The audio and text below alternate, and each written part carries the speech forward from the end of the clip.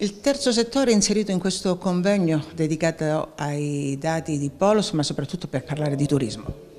Sì, il terzo settore perché è necessario integrare tutte le attività della città e del comune di Crotone, della sua provincia, perché soltanto integrando il mondo del sociale, il mondo economico e anche il mondo della pubblica amministrazione riusciremo a dare risposte soddisfacenti in un territorio che è stato abbandonato dalle realtà centrali.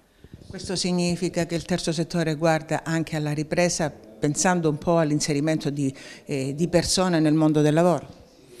Il mondo del lavoro è fondamentale, è necessario dar da lavorare a più persone possibili, per far questo è necessario capire in quale settore investire, il turismo sicuramente è uno di questi e quindi il terzo settore lavorerà insieme a tutti gli altri comparti, al secondo settore, al mondo dell'economia, del commercio e appunto quello istituzionale per far sì che possa svilupparsi e quindi dare da lavoro a tantissima gente a patto però che si indichi e si individui la strada della professionalizzazione.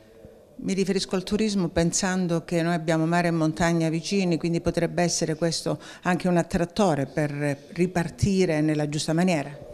Assolutamente sì, bisogna individuare pacchetti turistici eh, reali che possano interessare non, so, non, soltanto i turisti italiani ma anche quelli stranieri. Noi abbiamo delle particolarità, appunto avere il mare e la montagna a pochissimi chilometri di distanza. Se riusciremo a costruire le strutture e le infrastrutture necessarie potremo essere uno degli attrattori turistici più importanti della Calabria. Qual è il progetto del terzo settore?